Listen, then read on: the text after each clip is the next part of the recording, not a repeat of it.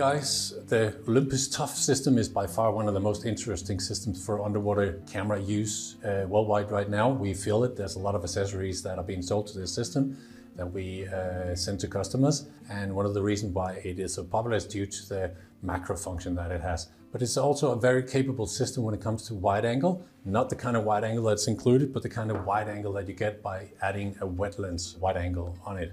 Uh, and the most popular and by far the most interesting one is the one from AOI, the UWL 400A that I have mounted on a housing here. When you lie underwater and want to do a wide angle shot and then right after want to do a macro shot, it can be quite tricky to take off the lens, but it is easily solved by using the QRS mounts that comes from the uh, AOI systems.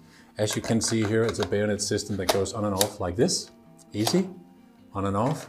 And what I've done here is I've mounted it on the Seafrogs SO3, the TG6, uh, TG5 and 6 camera housing. And this bayonet system is not only great, but it's a little bit tricky when you get it to mount it.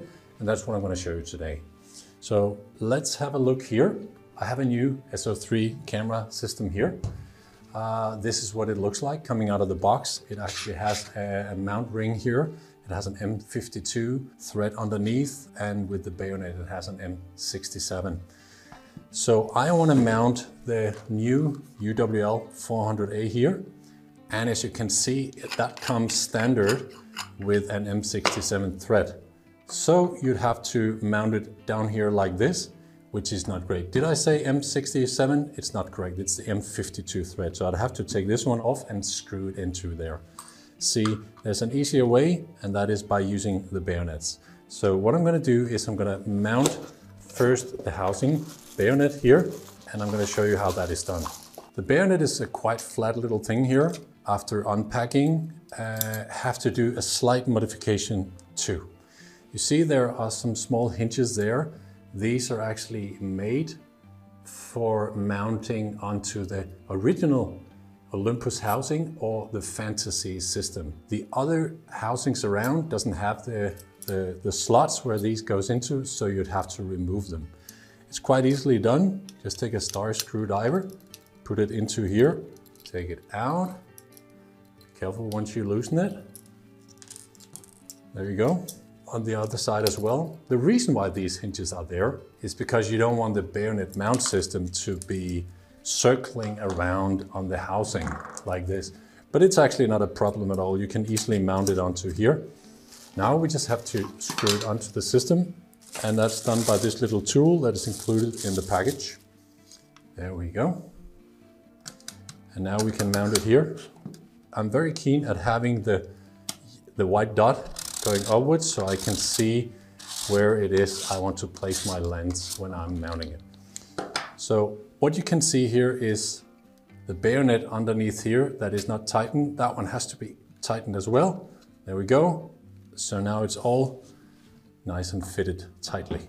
Now it's the time for the bayonet system here to be mounted onto the lens. As you can see here, it is an adapter that sits out on the front here and that one has to come off. And that is included in this other package. AOI has several lenses and all of them, all the newer ones at least, has this QR8, QRS system.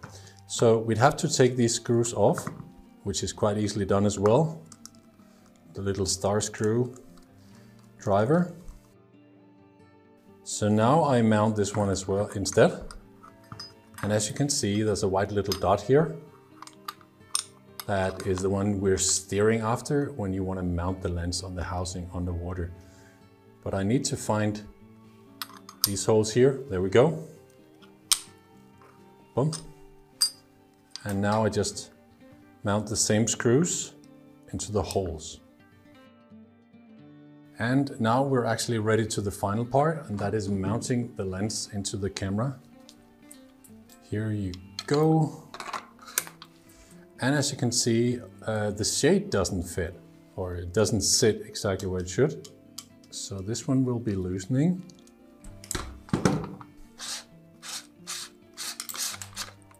There we go. And here it sits. And then we tighten the screws again. And action. And now we have the new lens sitting here. And it's now easily taken on and off. As you can see, the bayonet system now function as an easily easy on and off system. And then when you're not using the lens, obviously you would like to place it in a lens holder. And as you can see here, lens holder is a similar mount system, QRS mount system that you just mount on an arm. Uh, so underwater, you can attach it there while you're doing some macro. That's the uh, QRS system. Don't forget that there is also a macro version of the QRS system. So here you can mount an extra lens in. It sits like this. I know there's a macro function in the Tough cameras, but sometimes people like to add an extra powerful macro there instead. And this way you can use the same bayonet system as for an external macro lens. Quite easy.